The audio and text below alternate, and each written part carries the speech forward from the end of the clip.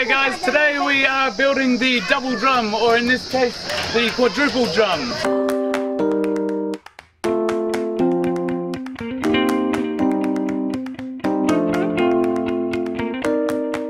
Make sure you check out the description below, which has a list of all the tools, materials, alternative elements which could be used to swap out for this piece, as well as any other elements which could connect to it in some way.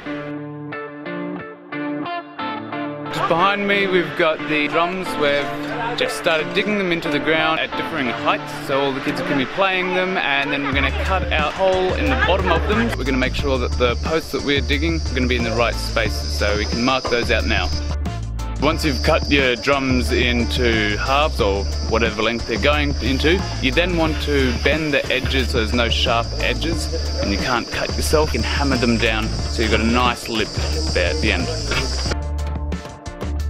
So now we're placing the drum that we've cut into the spaces where they're going to go. We've already pre-dug some holes. Got these wooden posts which we're going to connect the drums to.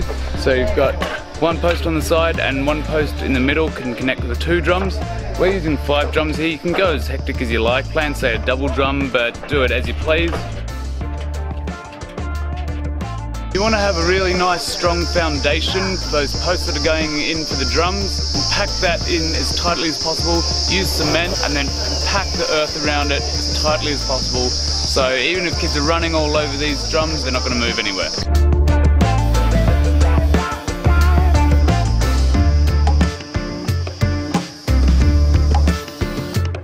You also want to drill those holes so you're going to have a slight angle on the drums so they're facing towards you playing. This also has the added benefit of letting the water pool into one spot and then you can drill a hole where that water is going to be uh, at its lowest point so that it'll trickle out and you won't get any mosquitoes or anything breeding in there.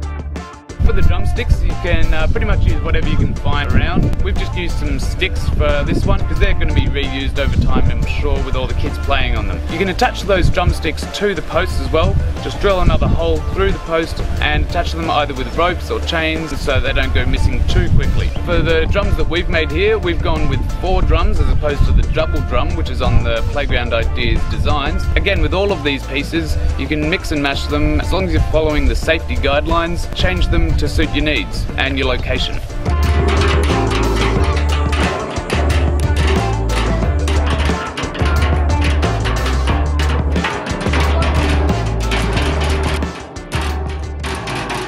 So this design, as well as all of our designs, are made to be used in conjunction with the free safety handbook, which is available from the website. It's just down there. Hey, what did you think of the video? Please let us know down below in the comments. And please don't forget to like and subscribe so you can see more of what Patrick's doing in India. You can go and visit playgroundideas.org which has 150 designs and all the resources that you need to build an awesome playground. And lastly, we've got a ton more videos to watch so check them out here.